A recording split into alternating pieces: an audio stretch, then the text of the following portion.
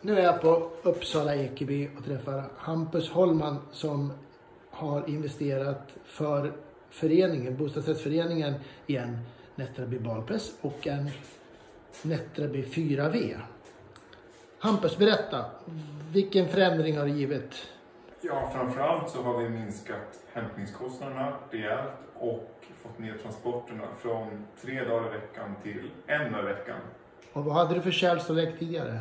Tidigare så hade jag tre stycken 660 liters och nu har jag två stycken 400 liters med komprimerat. Så ni, vad är det ni komprimerar för någonting? Just nu komprimerar vi brännbart i kärl och sen komprimerar vi wellpapp i en eh, 60-maskin som vi även har i det andra soprummet. Och dessutom har ni, har ni monterat en sms eller en mail, mail eh, modem som skickar signal till dig så du vet när du ska gå hit och byta kärl eller tömma balpressen. Stämmer det? Ja, det stämmer bra. Så den skickar jag direkt när det är fullt. Så jag vet att jag ska tömma. Toppen, tack!